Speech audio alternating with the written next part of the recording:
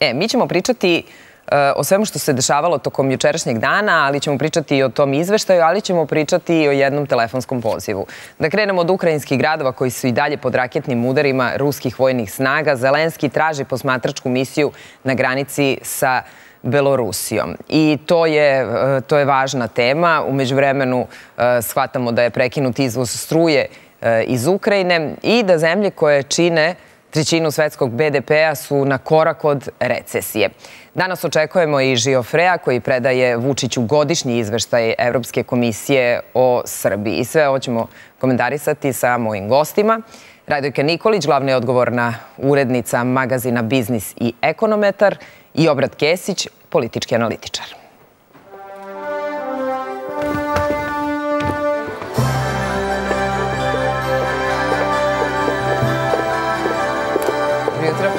Dobrodošli. Dobro jutro. Hvala, dobro. Kako ste vi? Evo, dobro. Bolje vas našli. Dobrodošli. Evo, izvolite. Ja bih krenula, dakle, od vesti, malo pre kad sam rekla e, buran dan juče, mislila sam upravo na taj izveštaj Evropske komisije koji smo čekali da, da dobijemo. Prvo neki e, nezvanični, a onda je krenuo da se, da se um, deli novinarima u Briselu i taj zvanični. Mi smo imali uvid u taj zvanični izveštaj i to je važna stvar i to ćemo prokomentarišemo. Ali onda nam se pojavljuje vest e, sinoć koja se saopštava iz predsjedništva da je predsjednik Vučić razgovarao telefonom sa državnim sekretarom Sjedinjenih američkih država sa Blinkenom i kako se navodi, tri su bile ključne teme. Dakle, pitanje Kosova e, i Metohije i želja američke administracije, kako kažu da u najkraćem roku bude postignuto rešenje zatim odnos Republike Srbije prema Ruskoj federaciji, kao i diverzifikacija energetskih izvora naše e, zemlje. I sad je moje pitanje za vas, poznajući američku administraciju, šta vi kažete? Potpuno je normalno da se sa zemljama koje su im važne čuju ovako visoki zvaničnici sa našim državnim vrhom ili je ovo neki neuobičajen tajming za ovaj telefonski poziv? Pa prvo, ovo stare teme, znači nema tu nova neka tema. To su i ranije bile neke glavne teme, čak i za administraciju predsjednika Trumpa, ako bi pogledali unazad, pre Vašingtonski takozvani sporozum. Ovo su bile ključne teme, diversifikacija izvora energetike u Srbiji, pitanje Kosova i Metohije, kao i odnos sa Rusijom. Oni bi dodali uz to i Kinu, ali sad zato što je fokus ukrajinski rat, onda nema više Kine u toj rečenici.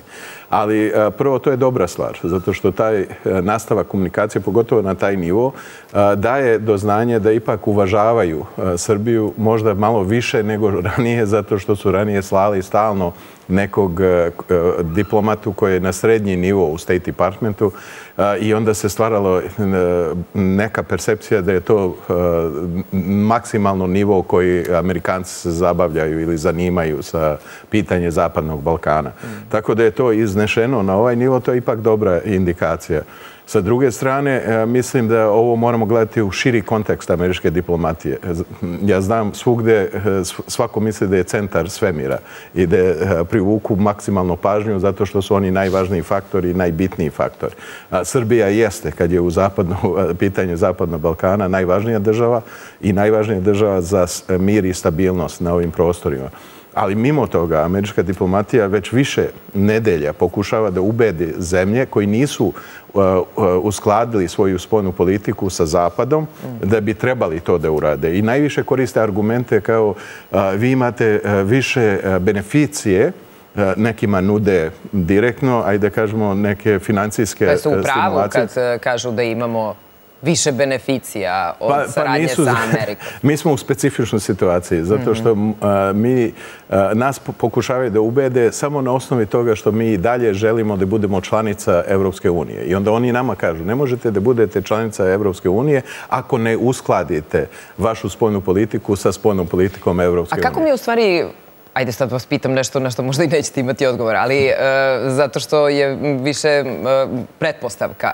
Da li oni nas doživljavaju kao nekoga ko nije siguran kojim putem želi ili nas doživljavaju kao nekoga ko je siguran, ali ima ekonomske interese i na nekoj drugoj strani i nije jednostavno doneti odluke da ćete na uh, uštrb svog ekonomskog razvoja da. idete put političkih nekih ideja. Pa, pa znate, ja mislim da oni doživljavaju Srbiju e, na tri načina. Prvi način je ovo što sam rekao i to je novo, što je se desilo mm zadnjih par godina, je Srbija ipak najvažnija država za njihove interese, znači za mir, za stabilnost na prostoru Zapadnog Balkana, moraju da imaju drugačiji pristup prema Srbiji. Ne mogu više onaj jezik ultimatima, uslovljavanja i tako dalje da koriste, zato što znaju da to samo stvara kontra efekat, pogotovo u javnost u Srbiji. Druga stvar jeste da tretiraju Srbiju kao e, zemlja koja ima vrlo složenu e, ekonomsku i energetsku situaciju. Ali to nije, e, kako da kažem, faktor koji je ključni faktor. Zato što i svaka zemlja ima takvo pitanje, kad je takav odnos prema Rusiji, kada je u pitanju energetika. Samo što Evropska unija daje takozvane izuzetke, svojim članicama i onda kad pogledate, kad kažu imamo jedinstvo oko sankcija, u stvari to nije jedinstvo, zato što maltene svaka članica Evropske unije ima neki izuzetak. Tako da pristup prema Srbiji je još, e, ajde kažemo, e, u nekoj meri e, veća licemera e, nego što, što se pokazuje svakodnevno. Zašto? Zato što Srbi ne nude takve izuzetke, nego kažu morate ili ćemo mi, šta, ugasiti naftu, evo Hrvatska šta radi, Tako da u tom kontekstu oni gledaju na Srbiju da je, zato što je mnogo bitna za njihovu spojnu politiku, ima tu e, složenu e, situaciju oko odnosa Rusije i sad dolazimo do treću stvar. Nije najveći problem e, to pitanje što je, kažem i ponavljam, zato što ima složene odnose sa Rusijom, nego je pitanje javnost u Srbiji. Oni su svesni, oni prate ankete. Evo sad smo imali jednu novu anketu koja je objavljena da je u velikoj meri velika većina građan e, Srbije ne podržavaju uvođenje sankcija prema e, Rusiji. Te sve ankete su vrlo upitne u Srbiji. Dakle, svi se pozivaju na neka istraživanja, pa na ankete. Dakle, mi, e, nisam, nisam sigurna da, da kad bi se napravila neka zvanična anketa, kakav bi rezultat pa, bio. Pa sve su ove u javnom ankete... mnjenju, da, u javnom mnjenju, u medijima se stiče apsolutno taj utisak da. E, koji vi, koji vi kažete, ali, ali, ali postoji zvanično neko sad istraživanje ili anketa. Pa ovo su sve zvanične. Znači, oni se rade i objavljuju, nego je pitanje samo e, ko financira, aj tako da kažemo. Imamo, pa ali ankete koji financiraju Zapad pokazuju isto. Nema, nema velika razlika. Zbog toga onda mora biti ovakav pristup. Jedan umereni, rekao bi, korektniji nego što smo videli ranije. Zato što nije bilo nikakvih pretnji u tom razgovoru, barem ne ono što smo mi videli, što je iznešeno u javnost. I to je neka promjena. Jer ranije uvijek je bila neka pretnja koji se objavi posle razgovora. Tako je, da. Ako ne učinimo to, bit će ovo. Vrlo jasno, da. I onda se mi pitamo, Pa šta bi sa ovim pritiskom Amerikanaca na nas sada? Imamo pojačanu aktivnost e, ambasadora Sjedinjenih američkih država u poslednjih nekoliko dana u Srbiji. Ovaj razgovor koji e, je sinoć, e, odnosno koji se sinoć održao, a za koji Eh, je juče uveče stigla vest. Dakle, eh, tu se uvek postavlja to pitanje Kosova i Metohije, ali kad ste vi u pitanju, mene više interesuje tu pitanje ekonomije. Imamo velike političke teme koje direktno utiču na našu ekonomiju. Kako vi vidite Srbiju evo do kraja, do kraja ove godine? U celoj ovoj situaciji imamo uvek dva scenarija. Uvođenje i neuvođenje sankcije. Jer nam od toga zavisi i ekonomija i budućnost Zaista e, skoro nismo imali ovako složenu situaciju kao što je, kao što je trenutno i ovoliko pritisaka na, na nas, pogotovo za odlučivanje oko sankcija e, ko, e, koje ste pomenuli. U, u, u vreme dok na jednoj strani bukti rat, u, u Ukrajini, dok je energetska kriza eskalirala do, do, do maksimuma pred početak E, nove e, grejne sezone, a tek ćemo videti kako će zima izgledati.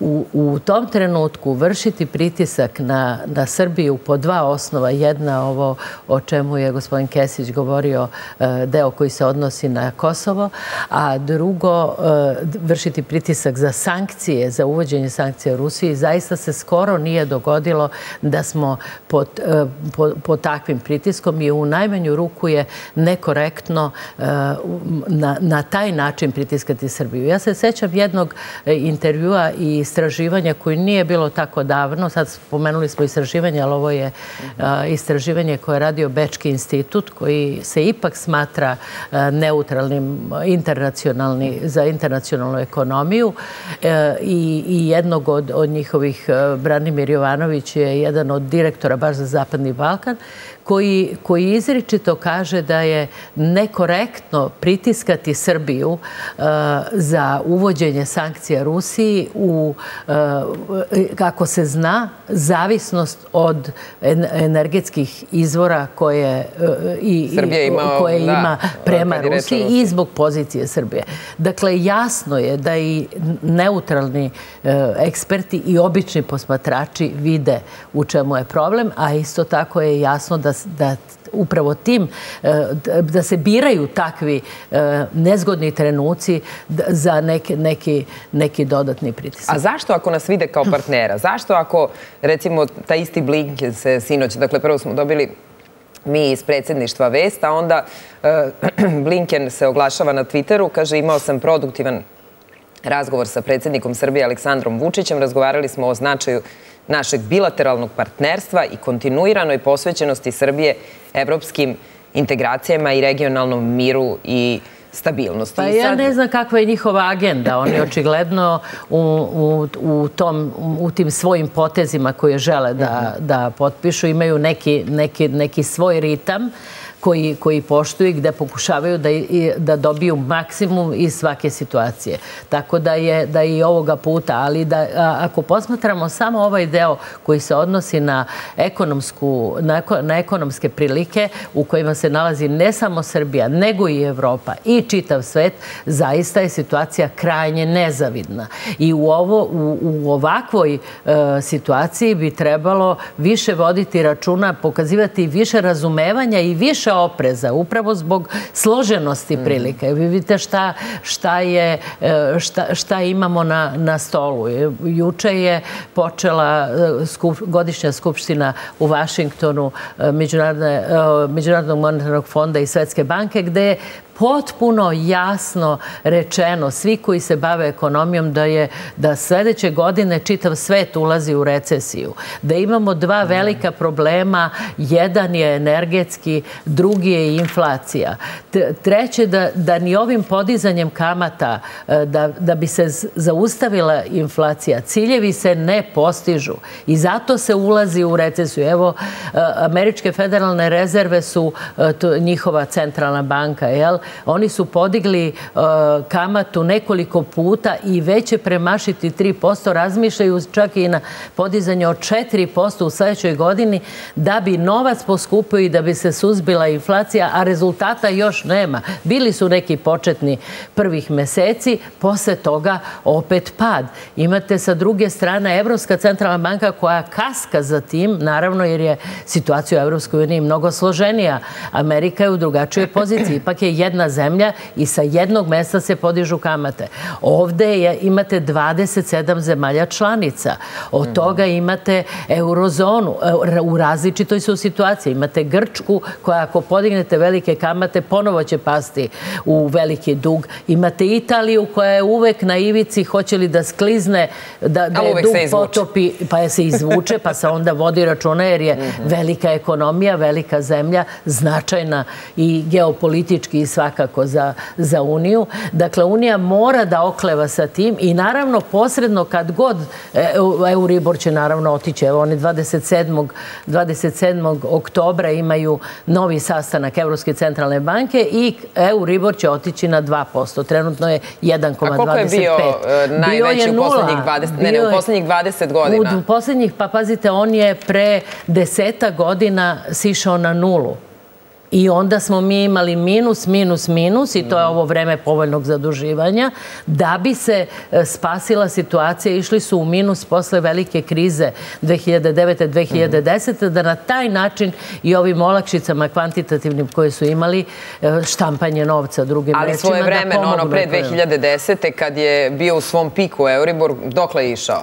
O, on je, on je išao preko 5%. Mm -hmm. On je išao preko 5%, što je očigledno da se sada ide ka tome, ali sporije nego što se ide. Dakle, to, to sada, sad, ako sa tog globalnog plana, plana pređemo na nas, to kod nas znači opet poskupljenje kredita. Svi ljudi koji imaju... A već, ga iskus...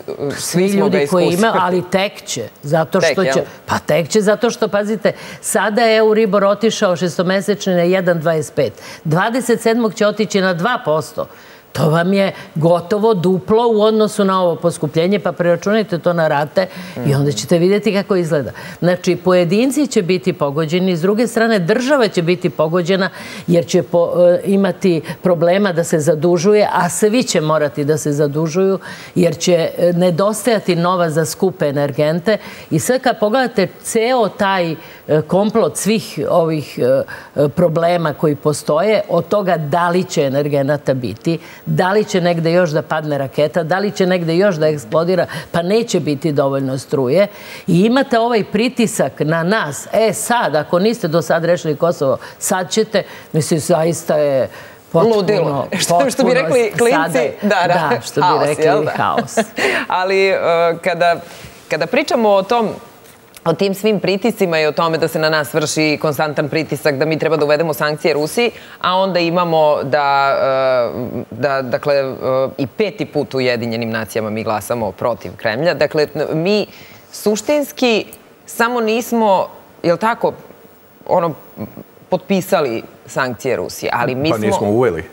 Pa dobro. to je mnogo bitno. Znači... Uh... Ali se ponašamo, uskladili smo spoljnu politiku sa zemljama zapada, retorički. Retorički u smislu osude, ali to možemo da kažemo da smo e, potpuno e, u skladu sa međunarodno pravo. Znači, imamo jedan vrlo jasan stav prema svoje pitanje suvereniteta i teritorijalnog integriteta kad je u pitanju Kosovo i Metohiju i da mi ne menjamo taj stav kad je u pitanju druga zemlja, u ovom slučaju Ukrajina.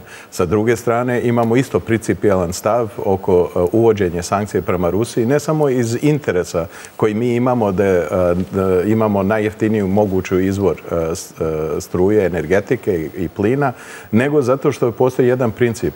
Ako non stop zapadne zemlje trube da moramo poštovati vladavinu prava, To, to važi na prvo mjesto za međunarodno pravo. Ako ove sankcije hoće da, more, da obavezuju ceo svet, onda moraju da idu kroz proceduru, a to je nemoguće i oni su svesni mm. toga, da, prođu kroz eh, Savjeta bezbednosti u Ujedinje nacije. I zato što to nisu ni pokušali, ni žele to da rade preko, na taj način, onda sada su se stavili u poziciju da to nije više vladavina prava, nego je pitanje samo sile i eh, koliko mogu da pritisnu bilo koju zemlju to što većina zemalja sveta ne uvode sankcije, ne govori da je Srbija izolovana, da je kao jedini primjer.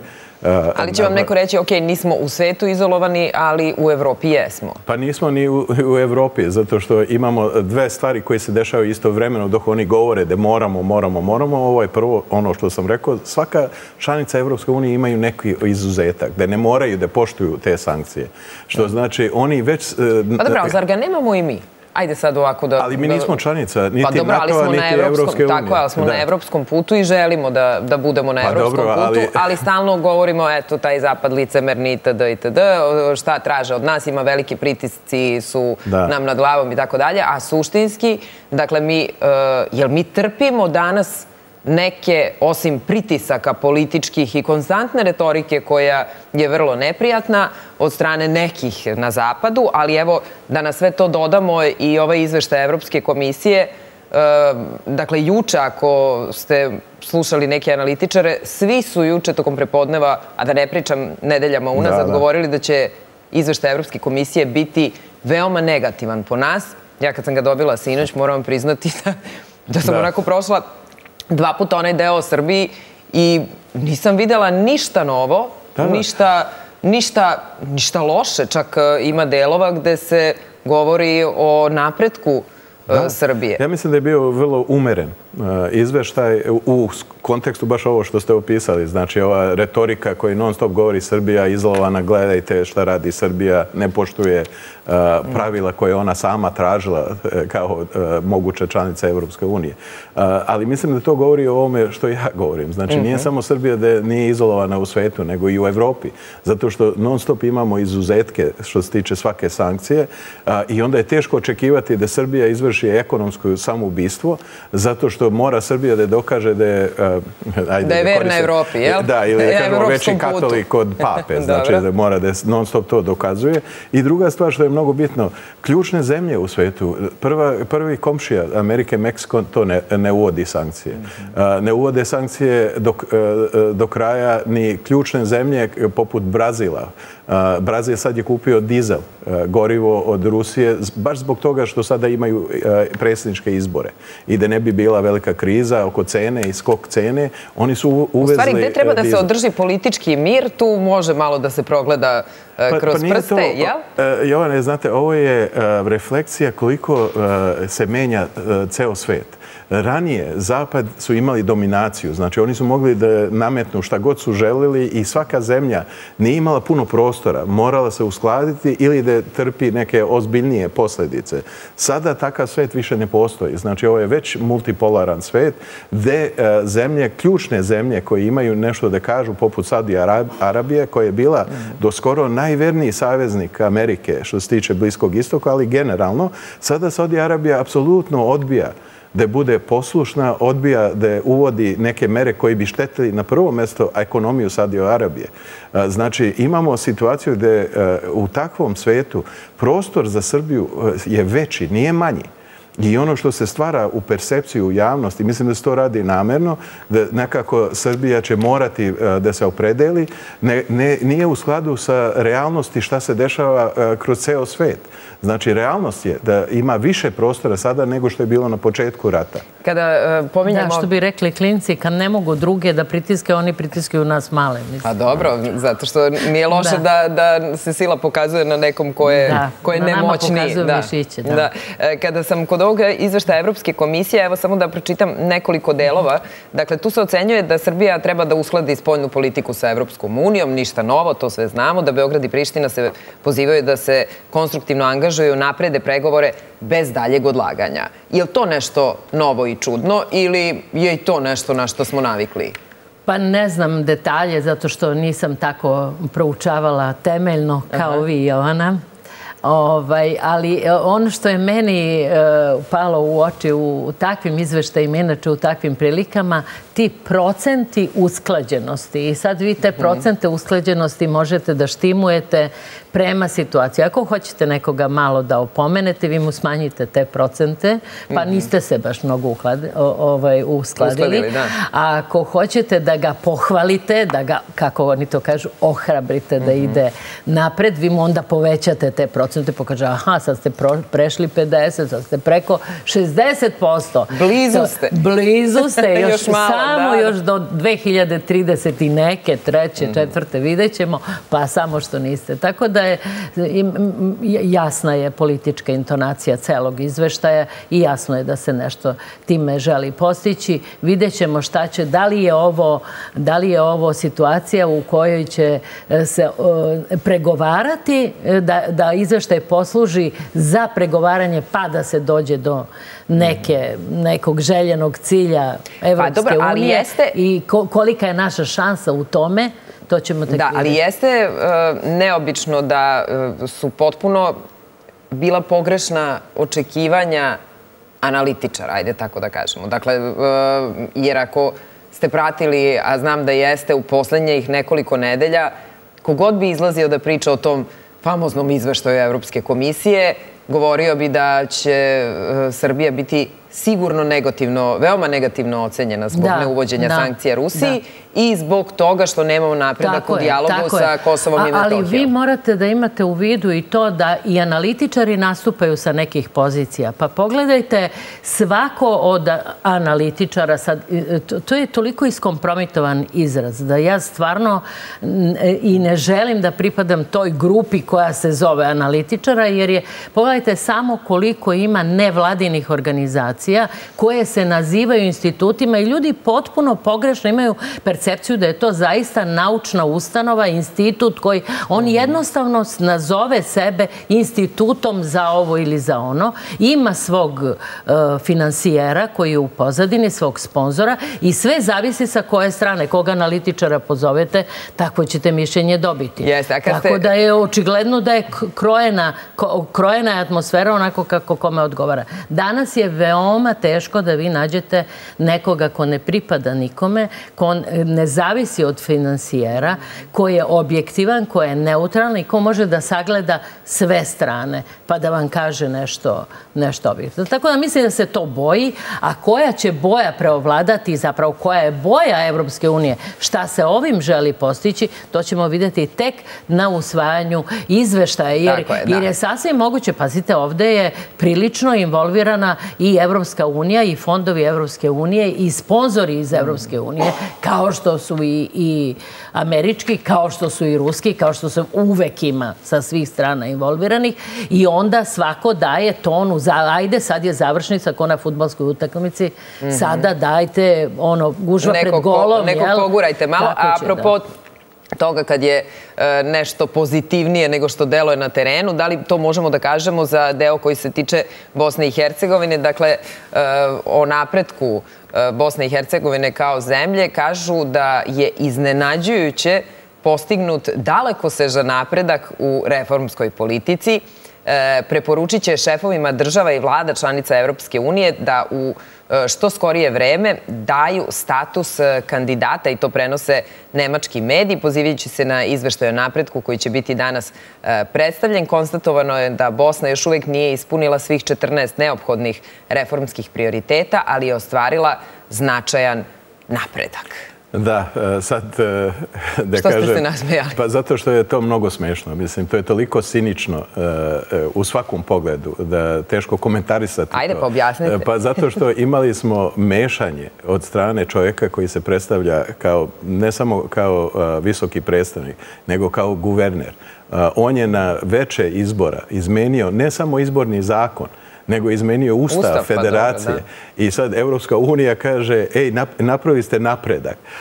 Tako da e, imamo e, čovjeka koji ima izvršnu vlast, ima zakonodavnu vlast, ima vlast suda, ima e, svaku vlast koji nema apsolutno niti pod međunarodno pravo, niti pod Dejtonskom sporozumu to pravo da to radi. I sad takva zemlja... Ako ga gura Nemačka, jel? Pa dolaze iz Nemačke, očigledno. A dobro, ali i ovaj uvid u izveštaj za Bosnu i Hercegovinu pa, također dolazi iz Nemačke. Ovo mene posjeća kako su sada Eh, postali kandidati za članice Evropske unije, Ukrajina koja je u ratu, koja ne kontroliše jedan eh, značajan deo svoje teritorije i onda odjednom kažu, o, super, ispunila sve uslove. Kako je ispunila uslove? Kad e, zatvaraju se medije, hapse se e, politički protivnici. E, non stop imamo regresiju što se tiče sloboda. To je razumljivo u ratno stanje kad je zemlja napadnuta, ali isto tako nemojte da pravite farsu od cele priče ulaska u Evropsku uniju na ovaj način. To je ruganje, ajde kažemo, vladavine prave. Zato što oni govore napravili su napredak. A sve što se dešava u Bosni i Hercegovini, evo ova kriza sad, da CIK se poziva na odluku takozvanog visokog predstavnika da bi doneli eh, odluku prebrojavanja koji nije u skladu sa zakonom. Pa kako je to napredak? Šta se dešava, pošto ste sinoć došli iz Republike Srpske, ajde samo malu digresiju da napravimo. Šta se dešava pa u Republike Srpske? Ovo je meki udar e, na Republiku Srpsku, ne možemo drugačije. E, nije problem da će se prebrojavati, nego je problem u tome što od samog početka krše zakon, krše e, izborni zakon. Ne možete menjati izborni zakon kad su izbori u toku. To je učinio gospodin Šmit. I čak su neke nevladne organizacije kritikovali to koji dobivaju financiranje sa strane. A samo mi objasnite, objasnite mi šta je sporno. Dakle, e, pa evo sad kad bi vas neko pitalo šta je sporno u izbornom procesu, a šta je sporno u odluci CIKA? Pa tu je više sporno, e, jer imamo pitanje ovo što se dešava u Republike Srpskoj, imamo pitanje ono što se desilo Hrvatima, ponovo mhm. što se tiče člana, hrvatskog člana predsjedništva. E, I sporno je sada da je sada tražu i oni koji su pobedili u federaciji traže potpuno prebrojavanje listića. I onda imamo to da je Željko Komšić koji je pobedio i ponovo je od strane bošnjačkih glasača hrvatski član predsjedništva, on sad traže da Ustavni sud Bosne i Hercegovine proceni da li je Šmit imao pravo da menja Ustav i izborni zakon. Znači, niko nije zadovoljan. Ovi izbori zbog mešanje sa strane su pretvoreni u farsu i pretvorili su u situaciju gdje imamo sada mnogo ozbiljniju krizu nego pre izbora. I prvo Dodik, pa onda i juče Trivićka, imali su konferencije za novinare u Beogradu. Da, da. Da. I da vam kažem, od cele te atmosfere koja se napravila, mi imamo i unutar srpskog dela sada ozbiljne političke razlike. Pa to postoji već duže vreme, nažalost. Nemamo jedinstvo, političko jedinstvo u Republike Srpskoj i zbog toga e, postoji veći pritisak nego što bi bilo. Ali jedno je nejedinstvo i e, političko neslaganje. A ovde je reč o ozbiljnim optužbama, dakle, krađa, lopovluki i tako dalje. Ali svaka optužba mora da se pokaže da ima osnovu za tu optužbu. U ovom slučaju e, CIK donosi odluku bez utvrđivanja da li e, postoji prvo Eh, ozbiljne indikacije da je to što se optužuje da je se desilo, da se desilo. Uopšte oni to ne komentarišu, nego kažu zbog veliki broj optužbe, prigovora, moramo ovo da uradimo. Uvijek za svaki izbor, oni koji gube, imaju prigovore. I naravno, neće da kažu da su izgubili zato što su loše vodili kampanju ili imali su loše kandidate, nego uvek kažu, a, pokradeni smo. I to nije novo. To se dešavalo svaki ciklus izborni. Čak se dešavalo i kad e, e, je i gospodin Dodik pao sa vlasti prethodno e, e vreme. Znači, nije to ništa novo. Druga stvar, mora se utvrditi da li ima dovoljno problema da uvode u pitanju ishod izbora. Oni to nisu uradili. Znači, oni su preskočili jednu normalnu proceduru u svakoj demokratskoj zemlji, prekršili izborni zakon, pozivajući se na čovjeka koji je prekršio ne samo izborni zakon, nego ustav, i onda kažu, ej, mi moramo to da radimo, a među vremenu imamo situaciju gde e, guraju celu e, zajedničku državu u sve veću veću krizu. Jer nemoguće je da imate isto nezadovoljni oni koji su izgubili kao u Republici Srpskoj izbore i oni koji su dobili u federaciji i svi imaju isti problem da kažu, ej, ovo nije fair, ovi izbori nisu bili legitimni. I to, za to je odgovoran gospodin Schmidt i jedan deo međunarodne zajednice, to su američka ambasada i, i nekoliko ambasada Evropske unije i uključujem i ambasadu uh, uh, uh, ovog engleskog ambasadora koji je bio dosta aktivan i dosta je narušavao poverenje građana u izbore i da će biti fair. Pa dobro, ali evo vidite izvešta Evropske komisije govori u prilog tome da se Bosna dobro pokazala u prethodnom pa periodu i da E, da će moći da postane jedna od... Kao što je Ukrajina napredovala i Moldavija, kako su napredovali prema članstvu. E, kada, kada se, um, da se vratimo na naš teren ovde, ovo je, samo sam napravila malu, malu digresiju, jer, jer to nama jeste interesantna tema u Srbiji, dakle i to praćenje izbora i i rezultati i cela ta situacija. Ali ono što će nam biti možda i tema svih tema u narednom periodu je um, očuvanje te energetske stabilnosti. Uh, dakle, šta je danas problematičnije? Gas, struja, nafta. Pa teško je reći sve zajedno. Sve mhm. zajedno bi se moglo reći, zato što su sva tri izvora energije jako važna, a sva tri su ugrožena.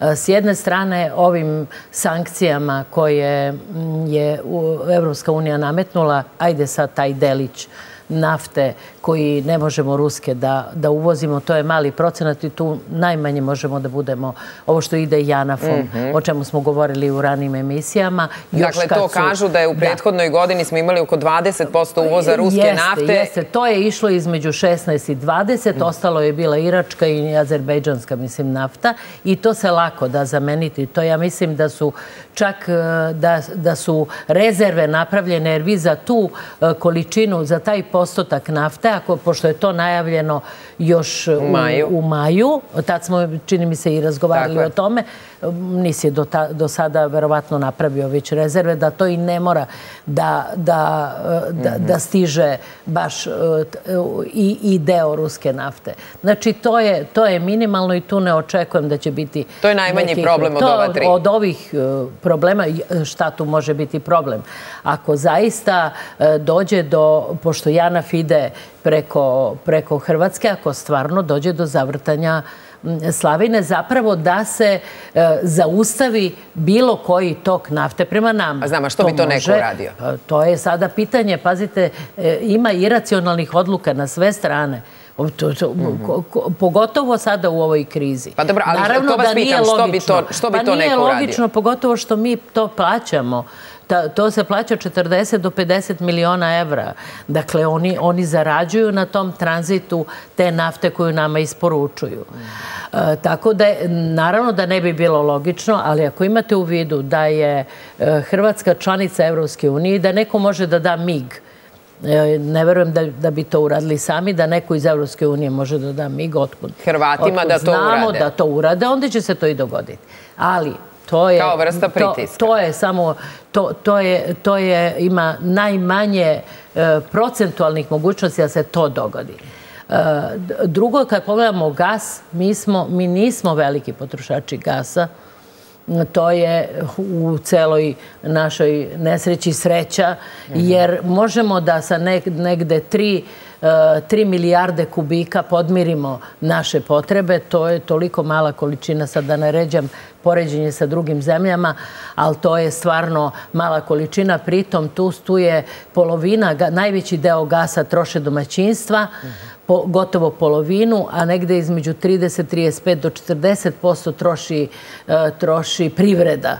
Dakle, e, domaćinstva bi se lako priorijentisala na nešto drugo, ako nema gasa, a ovaj deo za privredu, ako, ako, pošto već rezerve imamo, ipak bi ostalo gasa za privredu. I vi ako pogledate sve ove strane investitore, pogotovo Nemački i ove koji dolaze iz, iz Evropske unije, oni i dolaze ovde zbog snabdevenosti gasom, zbog jeftinog gasa, zbog jeftine električne energije, zbog jeftine radne snage, zbog povojnih uslova koje imaju. Vidite vi koliko smo mi blagonakloni prema stranim investitorima i dajemo im subvencije i svi su na izvolte i svaka, svaki zahtev im se ispunjava, gotovo svaki. Uvek imaju prečicu, shortcut da nešto reše to govorite kao najpozitivnije moguće ili kao, naj, ili kao negativno? A slušajte, mi smo bili u takvoj situaciji da smo mi njih zvali. To je naš veliki problem. Mi smo bili zatvorena zemlja, prokažena pod embargom sa lošim imidžom 2000. godine i mi smo zvali svako je bio dobrodošao.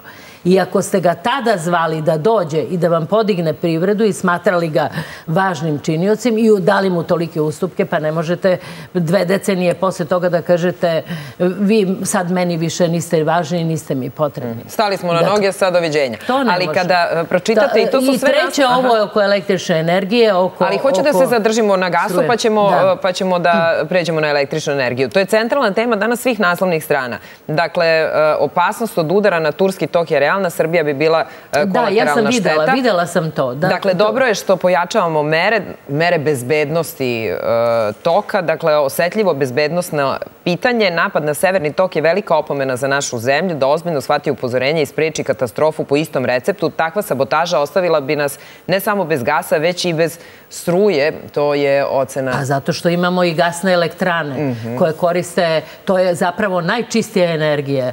Kada iz gasa proizvodite električnu energiju, mnogo čistija nego kada koristite ugalj.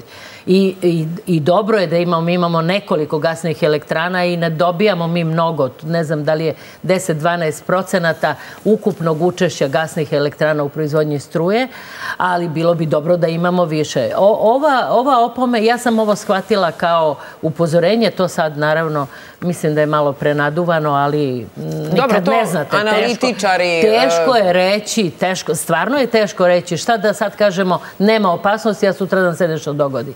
Toliko su osetljive prilike da je možda moguće. Mada ovo je potpuno druga situacija od severnog toka. Mi ne možemo da poredimo na isti način severni tok i ovo što se dogodilo u, u, Bal, u Baltičkom moru mm -hmm. pod, pod vodom i, i ovaj uh, tok koji ide do, ispod Crnog mora do Turske, a potom ide, uh, ide do nas preko Bugarske, kopnenim delom. Tako da to je, to je nešto drugačije. uvek može, svuda može da se dogodi. I ako nešto neko namerava da uradi, on može da uradi i dobro je da se podignu mere opreza i dobro je da se, da se obezbedi dodatno. A ko je taj neko ko bi pa, nešto želeo da uradi? A čekajte, ko, ko skida ove, ko nemogućava da ide voz Soko između Beograda i Novog Sada? Evo, to je, pa, to, to je takva besmislica. Pa da imate 100 km pruge, koliko, 80, koliko ima. Da imate jedan jedini voz koji je najzad počeo da funkcioniše i najzad imamo voz koji liči na najrazvijenije evropske zemlje, na zemlje Evropske unije, na Nemačku koja je, ja mislim, lider u, ili švajcarsku lider u železničkom saobraćaju. I da neko na tom parčetu neprekidno onemogućava da se skida delove, već ne znam šta, šta radi, da to ne može normalno da se obavlja. Eto, to, to, su, to su takve stvari da ne možete uopšte niti da prozrete zašto to neko radi, ni osim da, da se nanese nekome šteta. Jer ja ne vidim, ne vidim drugi, drugi motiv. Ali e, na naslovnoj strani današnje politike, samo ćemo se na trenutak vratiti na naftu. E, dakle, novi naftovod je moguć za manje od 20 meseci. Procena da bi izgradnja vredela oko 100 miliona evra, dok na strana transport Janafom košta 48 miliona evra godišnje. Da, apropo, apropo onoga što ste malo pre rekli. Dobro, i pod tri imamo struju. Dakle, to je... Po tri imamo struju, mi struju uh, uh, uvozimo delom, ne uvek, zato što nam nedostaje. Ali mi struju uvozimo od prošle godine. Mi uh, struju uvozimo zbog one čuvene havarije u... To je bilo prošle godine. Ne, ne, ne, to je bilo, da bom bi bilo prošle godine, krajem prošle godine, decembar i mi smo odmah počeli da uvozimo struju. Mi se od toga još nismo oporavili i to, naravno, potrebno je, potrebno je vreme zbog načina transporta otkrivki i cele te, sad da ne ulazim u mhm. elaboraciju, šta sve e, elektropriroda treba da uradi da se vrati na normalnu proizvodnju. Ali za to smo sami krivi. Za to smo isključivo uprava elektroprivrede i onaj ko je postavljao e, Grčića mhm. za za direktora. To je, to je naša krivica. E, pa dobro, ali vidite da nije kriv. Na to smo imali sušnu godinu, što je veoma važno jer mi trećinu trećinu struje dobijamo iz hidropotencijala i to, to je dodatno nama izazvalo potrošnju, ali šta je E, šta je e, izlaz iz cele te situacije, mi ćemo struju sigurno morati da, da uvozimo, izlaz je u e, obazrivijem trošenju, da ne kažem, zapravo u štednji, jer mi tako brzo ne možemo da stvorimo uslove da budemo energetski efikasni. A to je da izolujemo, da imamo dobru izolaciju u stanovima, da imamo dovoljno zelene energije koja se dobija iz drugih izvora. Ne možemo tako brzo da postavimo solarne panele ili na neke drugo sve šta se koristi, biomasa i ostala. E, za to je potrebno vreme, pošto to u ovom kratkom periodu ne možemo da uradimo, nama preostaje štednja. I ako je nešto pogodno u ovom trenutku, ja vidim prema nekim nalazima da smo mi uspeli da, da e, ovi apeli za štednju su mhm. već pokazali rezultate i negde 6-7% energije je potrošeno manje nego inače u ovo doba. Treba imati u vidu i vremenske uslove, jer to morate da gledate da li je bilo tad hladnije ili je li bila potreba veća. Jer šta može da se dobro, hladnije nam je ovaj septembar nego septembar prošle godine. Da, ali ne znam tačno koji period su oni merili. U mhm. svakom slučaju, ja verujem da je većina stanovništva ozbiljno shvatila upozorenje da je energetska kriza jaka, Da ćemo imati restrikcije. Šta su vaše procene? Ne verujem. Ne verujem. Ne verujem. Ne verujem. Osim ako se ne dogodi neka međunarodna velika havarija. Ako, ako negde budu baš pokidani svi e, transportni e, e, oblici do, da, da se snabdete energijom i o, u tom slučaju vi ne možete ni da je kupite jer nema ko da vam dopremi jer je ceo transportni sistem uništen. Ali inače, ako ostane ovako kako je, ne verujem da će biti restrikcija, Opasnost je samo ako većina stanovništva zbog skupog ogreva pređe na grejanje električnom energijom jer je jeftina. I e, kod nas je jeftina i kao što vidimo ta cena će se zadržati. Ako svi krenu na da koriste struju za zagrevanje stanova, tada stvarno može da nastane problem, ali se nadam ipak i zato je jako dobro da se nastavi sa stalnim apelima i upozorenjima stanovništvu za štednju struje. I samo da vam kažem, prošle nedelje su mi bili u gostima Nemci ovde. Znate šta je, kad sam pomenula štednju, sad sam se mhm. setila šta su, mi, šta su mi rekli. Kod njih na televiziji dnevno reklame idu, nemojte se tuširati svaki dan, obucite još jedan... Da. Obucite još jedan džemper, neprekidno idu kako da koristite e, televizore, e, digitalne uređe i sve što imate po stanu, upozorenja. Isključite ovo. Nemojte, ako ne gledate ili namestite neki osigurač specijalni koji kad se vi okrenete od televizora, on će sam e, isključiti. On će se sam isključiti. I tako dalje. Ali to Nemaju toplu vodu više u vrtićima i u, u školama. Više se ne greje topla voda za pranje ruku, ima samo hladna. U bazenima je temperatura do 17 stepeni, u javnim stepenima temperatura vode, a temperatura vazduha 19. Kad, kad su otišli ovde na jedan bazen i vlasnik nas je upozorio, pazite, temperatura vode je 26 stepeni, a... Kao hladno je. Hladno je. Mi inače imamo 28-29. Oni su rekli, sve što je iznad 15 stepeni. Za... Ali, Mi smo srećni. Ali zato imate, i e, time da završimo, zato imate i demonstracije u Nemačkoj, dakle, zato imate nezadovoljstvo građana koji kažu, pa dobro, evo sad kad Nemačku pomenu smo, to, e, to je nekako logičan sled, tačno je da nije samo u Nemačkoj, transparenti, mi smo najvažniji, je li tako? Dakle, jedan Nemac e, debelo mora da razmisli zašto živi ovakav život koji nije morao da živi u posljednjih nekoliko decenija. Za kraj mi recite, šta su vaše prognoze? Dakle, prvo, da li će e, sesti Putin i Biden za sto u skorijem periodu, kao što se najavljuje, i dogovoriti se o prestanku rata? Ne. E, ne? Ne, zato što nerealno očekivati, zato što Zapad ide u eskalacije. I čak smo čuli juče uh, generalnog sekretara NATO-a koji je rekao ne sme uh, Rusija da pobedi ovaj, da dobije ovaj rat, zato što to znači da, je da su porazili i nas, sve. Znači, oni to gledaju kao uh, rat gde oni već učestvuju i to je stvarno, oni učestvuju u tom ratu. Pa dobro, kako ko to interpretira? Nekog će reći i rekao je Rusija ne sme da pobedi ovaj rat, a neko ko je pro Rusija... Ne, ne, on je rekao direktno, to je poraz sve, nas. Znači, on to direktno je povezao NATO sa ratom u Ukrajini. I to je problem, zato što ako oni stvarno imaju pristup takav, onda tu samo postoji jedan, jedna opcija, da Rusija bude poražena. A to znači idemo u eskalaciji. Druga stvar, Biden juče je promenio retoriku. I to je mnogo dobro da je on promenio mhm. retoriku, zato što je prvi put rekao da nije Putin lud, da nije uh, uh, zla od čovjeka. Rekao je, imamo čovjeka koji je racionalan, ali je napravio grešku kad je ušao u Ukrajinu. To je dobar korak, ajde kažemo, prema tome da se stvara neka nova atmosfera, ali problem u tome što isto vremeno Amerikanci najavljuju da šalju dodatne oružje.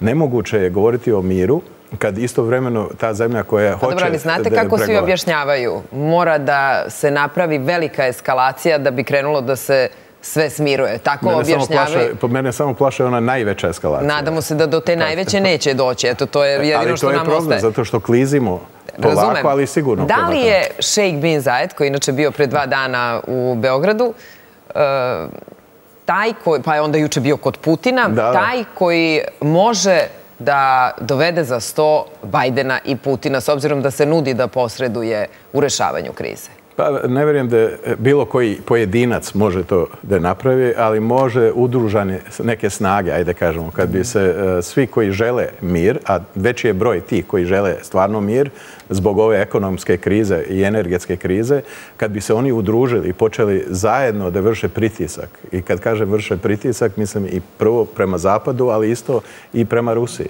onda mislim da bi se otvorilo mogućnost e, da bi stvarno oni steli i da razgovarali otvoreno, da rešavaju rat vrlo brzo. Ali, nažalost, mi smo daleko od toga. Zato što već imamo najave eskalacije, što se tiče broja oružje, kvalitet oružja koje se šalje u Ukrajini i vidimo da su Rusi već eskalirali što se tiče ciljeva, gađaju sada ozbiljne infrastrukture objekte, uvode... Pa da, i poručuju da je sve do sada bila samo pokazna vešba. Da, i to, to moraju svi ozbiljno da shvate. Pa očigledno su Amerikanci ozbiljno shvatili čim, pa, imate Bajdenove Pa jeste i nije, zato što ima jedna inercija u Americi, pogotovo kad se donosu odluke za spojne politike. Uvek se kasni. Znači, sada atmosfera se menja, ali da bi se pokazalo na delo, treba će još mesec, dva, tri. A umeđu vremenu, ako idemo prema eskalaciji, može potpuno okolnosti da pogoršaju se i da imamo uh, zatvoreni prostor za bilo kakve ozbiljne razgovore. Apropo ove priče, uh, malo pre upravo izašla vest iz Francuske da u Primorskim Alpima u Južnoj Francuskoj su doneli uredbu u tom regionu Donali su uredbu o ograničenju točenja goriva na 30 litara po automobilu. To prenosi inače Reuters. Više od 60% francuskih kapaciteta za preradu nafte je isključeno zbog štrajka radnika u nekim rafinerijama, što je dovelo do skoka cena dizela i primoralo zemlju da poveća uvoz e, goriva. Inače, akciju e, koju vodi francuski sindikat uglavnom je uticala na rafinerije i skladišta francuske naftne e, kompanije Total Energy, ali i na postrojenja američkog giganta koji je koji radi u Francuskoj. Da, da, u Francuskoj su juče počeli, počele velike gužve. Zapravo ne juče. Juče su prva saopštenja bila, ali inače već dva, tri dana traje, traju problemi u snabdevanju gorivom. A ovo za Nemačku je interesantno da u istočnoj Nemačkoj, ovi protesti su u istočnoj Nemačkoj, ostao je neki refleks očigledno od DDR-a i, i Rusa. Da, situacija je stvarno jako složena i najgo, sve ovo o čemu pričamo može da bude besmisleno u slučaju nekog, nekog nuklearnog, neke nuklearne opasnosti ili neke eskalacije rata u ne znam... Jel se nadate tome? Mislim, jel se nadate, jel se plašite toga? Jel mislite da je to realno? Ja sam, e, e, e, kada, kada sam boravila u Nemačkoj u martu ove godine, njihov prvi strah nije, nije bio ova kriza i nestašice, namirnica je svih tad još bilo, mislim, bilo ih i kasnije, naravno. Svi su se oni plašili nuklearnog rata. I ja sam se pitala otkud se, što se plaše nuklearnog rata, jer to je ličilo tada na neki lokalni sukob koji će... Jeste, ali je Putin u prvih sedam dana potego nuklearno oružje kao temu. Da, i oni više su strahovali. Ja sam mislila da je to da je to besmisleno, međutim, sada pa, ne isključujem Manje pričajte sa Nemcima. pa, e, evo, NATO sada su naredili pripremu, imaće vežbu za pripremu nuklearnog e, korišćenja oružja, e, korišćenja nuklearne oružje. Tako da je jako ozbiljno. Ali samo da kažem, celo vreme imamo neracionalno odlučivanje, pogotovo sa strane Zapada. I šta je problem? Problem u tome, kad imamo neracionalno, evo samo energetika, dovoljno imati ovakvu krizu zbog rata i sankcije koji su uvedeni, ali istovremeno i dalje nastavljaju tu takozvanu zelenu tranziciju koja stvara dodatni stres u ceo sistem. Jer morate istovremeno da e, e, predstavljate da koristite e, prljave izvore energetike i da uvodite čiste. I to zato što to istovremeno u radu, to govori meni da je to neracionalno i otežava situaciju. I samo za Srbiju, mnogo bitno. Nije dovoljno samo e, da e, e, obični ljudi, firme i svi smanju potrošnju. Moramo da radimo na tome da uključimo sve moguće izvore energetike. Ja znam nekoliko primjera firmi, privatni, koji sada proizvode dovoljno energetiku za svoje potrebe proizvodnje i mogu da se uključe u sistem elektrodistribucije, ali nemaju priključak moramo rešavati takve stvari. Jer sve je to mnogo bitno ako ćemo održati bilo kakvu stabilnost uh, vezano za energetiku. Da, da, ide se na to da svako bude individualni proizvođač praktično energije, što je sa svim moguće da se realizuje, da proizvodite za domaćinstvo. Naročito u selima ili tu gde su neke mikroceline. U gradskim sredinama je to problematičnije, da. Ali na otvorenim prostorima, da. U svakom slučaju, um, delikatno delikatna jako delikatna situacija u kojoj se sada nalazimo i trebalo biti na oprezu, a naročito ovaj deo koji se odnosi na, na nas, pošto nismo baš poznati kao štediše, Pa dobro, ajde, valjda ćemo da se, da se pokažemo da smo nešto razumeli. Hvala vam mnogo na gostovanju, hvala na ovoj e, analizi koju smo napravili.